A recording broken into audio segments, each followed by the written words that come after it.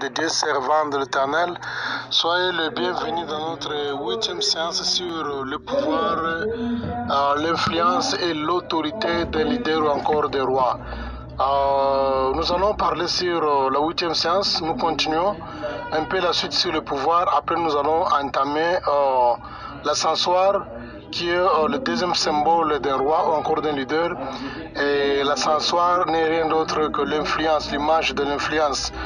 Là aussi, nous aurons euh, beaucoup à parler euh, tout autour. Voilà, euh, il y a des points qu'on n'a pas terminés sur le pouvoir. Euh, je voudrais tout d'abord que nous puissions terminer sur le pouvoir afin que nous puissions entamer l'influence qui, bien encore l'ascensoir qui représente l'influence des rois ou encore euh, d'un leader.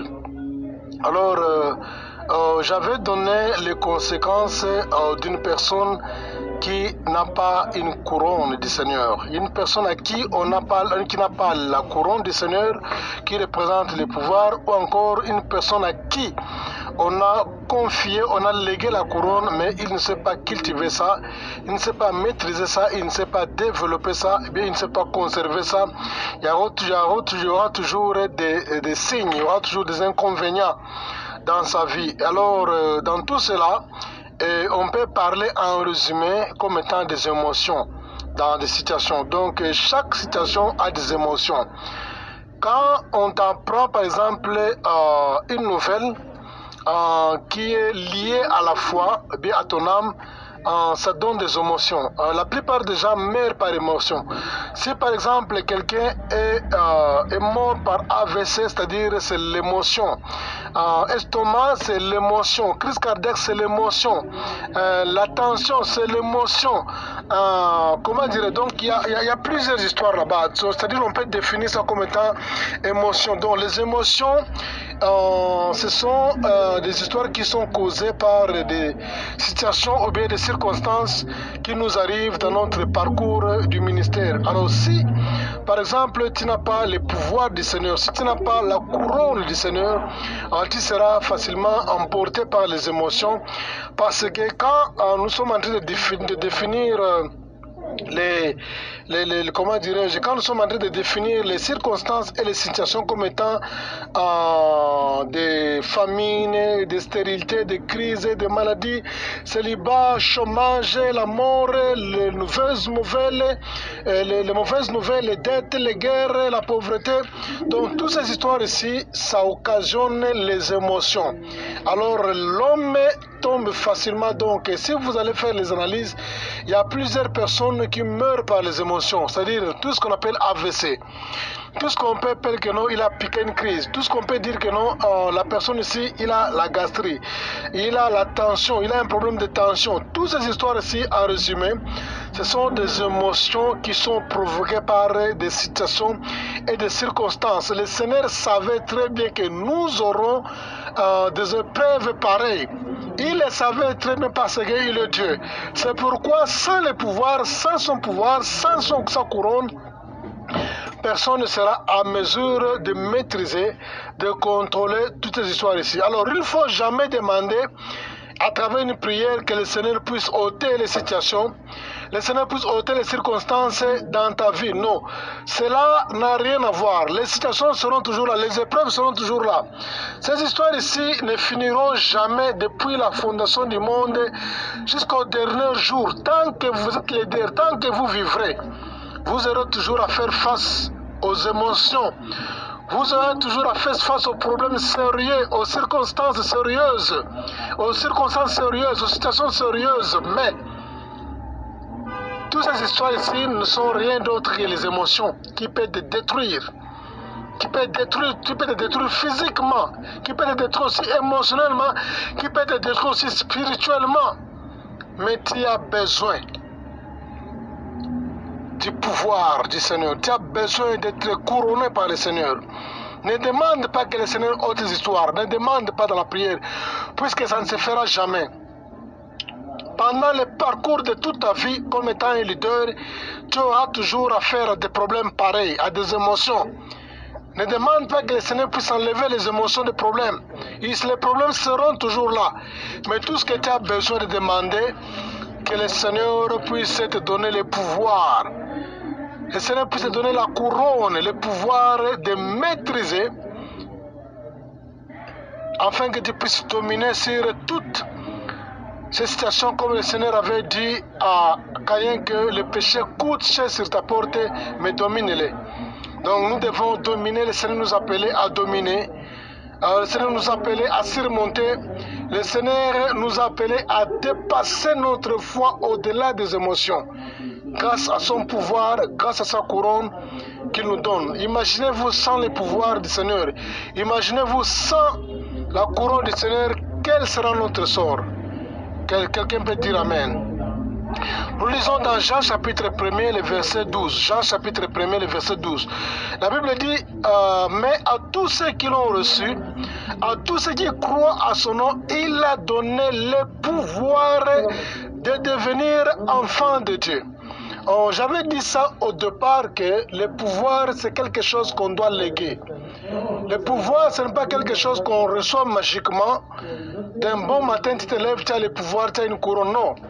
Tu ne verras nulle part dans l'histoire de la dynastie, dans l'histoire de la royauté, on voit une, reine ou bien on voit un roi prendre la couronne, placer sur sa tête, tel même bien de lui-même. Non, c'est quelque chose qu'on doit te léguer. C'est un héritage des ancêtres. On prend les anciens, de les membres de la famille. On prend les anciens de la famille. Ce sont eux-là qui ont cette capacité-là de venir dans l'intronisation pour placer la couronne sur ta tête. Donc ils sont en train de te léguer un pouvoir, l'héritage des ancêtres, ils sont en train de léguer ça sur toi.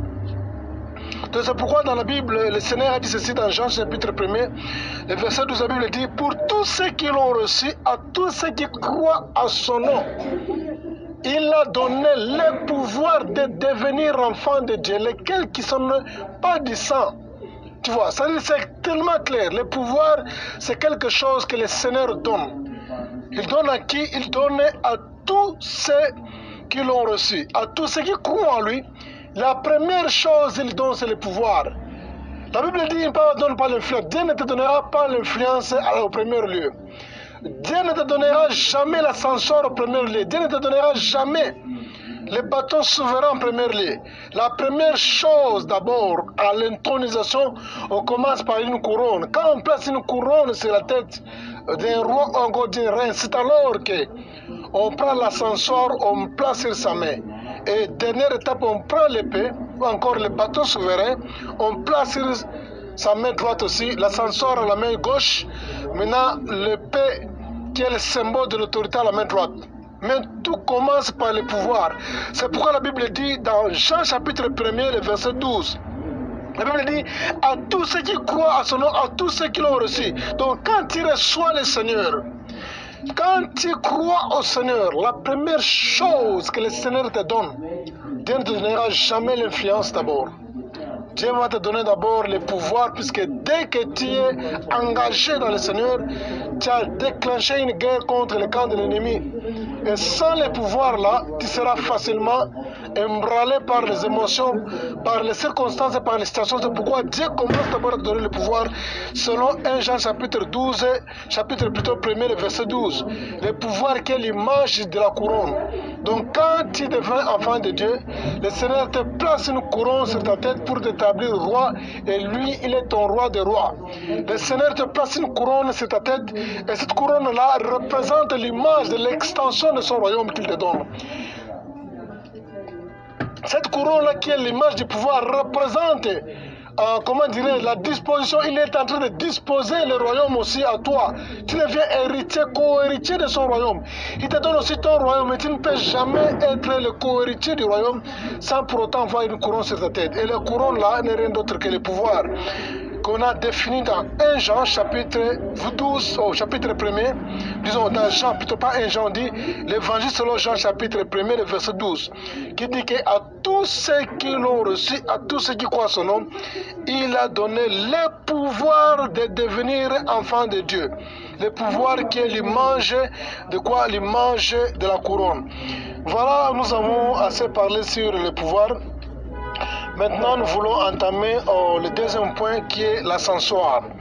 Ah, comme je disais là au début, à chaque fois, quand tu vas visiter un royaume à l'intronisation d'un roi ou encore d'une reine, après avoir remis, une, après avoir placé une couronne sur sa tête, le deuxième élément, bien le deuxième symbole qu'on place à sa main gauche, on lui donne l'ascensoir. Euh, maintenant, à nos temps ici, c'est un peu rare euh, de voir l'ascensoir.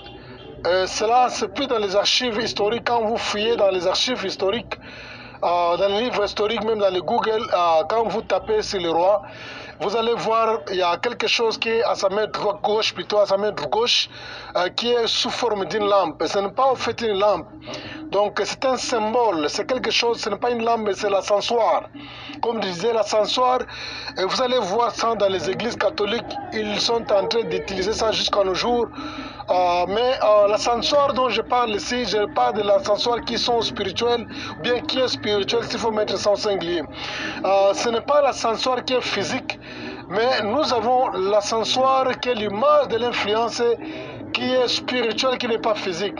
Donc ça ne vaut pas la peine pour un leader d'utiliser les ascensoirs physiques. C'était seulement l'image euh, de l'influence euh, qu'on voudrait donner euh, à une reine ou bien à un roi.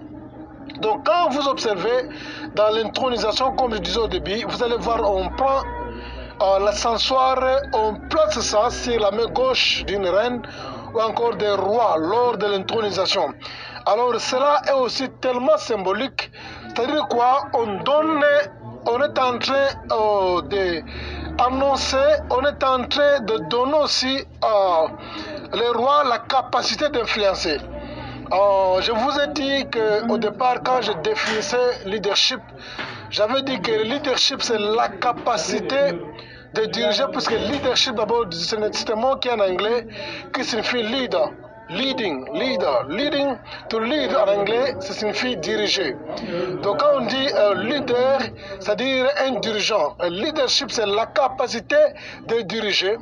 C'est aussi la capacité de diriger, d'influencer, de transformer, d'impacter les gens ou encore un environnement.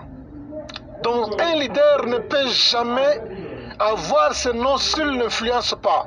Le leadership, c'est la capacité d'influencer d'abord. On on définit ça comme étant la capacité d'influencer les gens.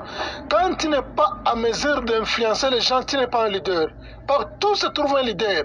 Il doit influencer les gens par des talents que Dieu a placés dans sa vie. Et l'outil de l'influence, l'outil de l'influence, c'est le don. Bien ton appel, le ministère, ton appel, les dons, les charismes que Dieu a placés dans ta vie. C'est ce charisme-là qui est capable d'influencer les gens. Le leader, le leader doit influencer les gens avec les dons que Dieu a placés dans sa vie. C'est ça la définition par excellente de leadership, c'est la capacité de faire quoi? De diriger, d'influencer, de transformer les gens, de changer l'environnement ou encore d'impacter les gens. Euh, c'est ça euh, leadership. Alors, comme je parle ici l'ascensoir, l'ascensoir c'est l'image de l'influence. Tout roi a l'influence. On ne peut jamais voir un roi sans influence. Et l'influence des rois, toujours, est tellement très effective, même à distance. Le roi peut être, peut avoir son siège, son palais dans le centre-ville. Mais même jusqu'à la frontière, il n'a jamais arrivé dans sa vie. Il a l'influence là-bas. Donc ce n'est pas obligatoirement que le roi doit aller jusqu'à la frontière pour aller influencer les gens qui sont là. Non, non. Le roi peut vivre dans son palais, dans le centre-ville, dans la capitale, mais son influence va jusqu'aux extrémités de la frontière. C'est de la même manière avec notre Dieu. Notre Dieu a son siège physique et permanent dans les cieux. Mais son influence, nous n'avons jamais vu physiquement comme ça. Et on n'a pas besoin obligatoirement que Dieu doit venir physiquement pour vivre parmi nous, pour que nous puissions sentir son influence. Même à distance, on doit sentir l'influence du Seigneur. Donc quand la Bible dit, quand vous priez, dites que, que votre règne vienne. C'est-à-dire quoi Le règne de Dieu, l'influence du Seigneur est partout. Un vrai leader, il influence même à distance. Donc le leader n'a pas besoin de la distance pour influencer les gens. Les gens qui sont des vrais mentors, que vous appelez les mentors en français, en anglais on appelle des mentors, mentoring. Mentoring ou bien faire le mentorat. Donc faire le mentorat, on peut faire le mentorat même à distance. Même à 8000 km, même à 12 000 km. La personne même que tu ne connais même pas, tu es capable de l'influencer de loin, même s'il te connaît, même si toi tu ne connais pas la personne. Mais du fait que même à distance, tu peux influencer une personne. Donc, comme je disais que l'ascensoir est l'image de l'influence. Pourquoi on dit l'ascensoir est l'image de l'influence? Parce que dans l'ascensoir, on met de l'encens à l'intérieur. Quand vous mettez l'encens dans l'intérieur de l'ascensoir, maintenant on brûle ça. Quand on brûle ça, maintenant, euh, ça donne de la fumée. Quand ça donne de la fumée, cette fumée-là dégage une forte odeur. Même si quelqu'un qui est dans une église, il est dans une, vous allez dans les églises catholiques, puisqu'on avait fréquenté les églises catholiques, il se peut que quelqu'un qui est dans la toilette et que le prêtre a brûlé l'encens dans l'ascensoir, il y a la fumée qui se répand partout. Vous allez sentir l'odeur même à la toilette là-bas. Donc l'odeur se répand. De la même, de la même manière, l'odeur de l'encens se répand dans toute la salle.